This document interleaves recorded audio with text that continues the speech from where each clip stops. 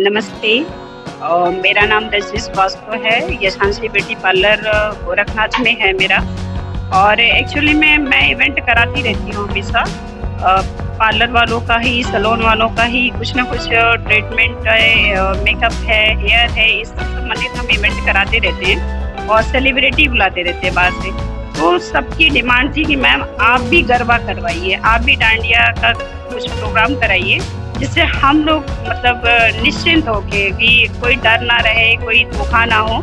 और इस तरह से आप मेरा मतलब मेरा थोड़ा सा उत्साह बढ़ा लोगों के लिए कि ठीक है, हम कराते तो अभी हम छोटे रूप में करा रहे हैं। फिर अच्छा सा होगा तो पहले से तैयारी करके नेक्स्ट टाइम जो है बड़ा इवेंट कराएँगे, जो गोरखपुर में एक नाम करेगा, दिखेगा और अच्छा इवेंट टाइमिंग भी ऐसा रखा है हमने कि जो लेडीजें जो है, अपना फ्री होके आ सकती हैं, चाहे बच्चियाँ हों, चाहे लेडीजें हों, ग्यारह बजे से चार बजे तक। ना इधर का टेंशन रहेगा, ना उधर का टेंशन रहेगा।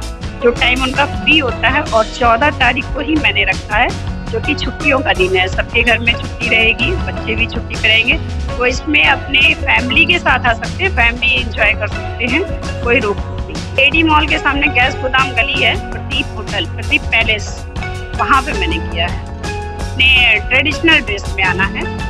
जीन्स टॉप नहीं है और ये सब नहीं है। सूट है टॉप सूट है या कोई गरबा का ड्रेस जो है आपको मन होता है या साड़ी। अगर नहीं है तो साड़ी भी पहन के आ सकते हैं। कपल्स भी आ सकते हैं।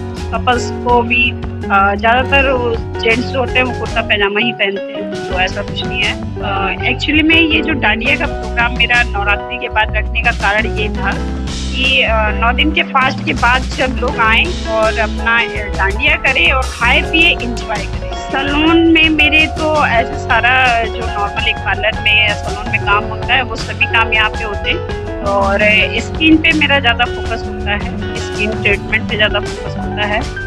और ट्रेनिंग भी यहाँ दी जाती है।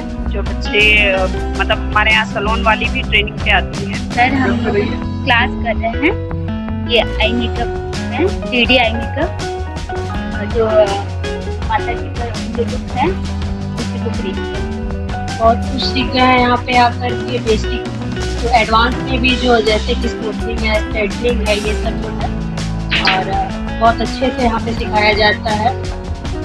मतलब छोटी से छोटी बड़ी चीज़ें भी जो है, बहुत अच्छे से बताया जाता है।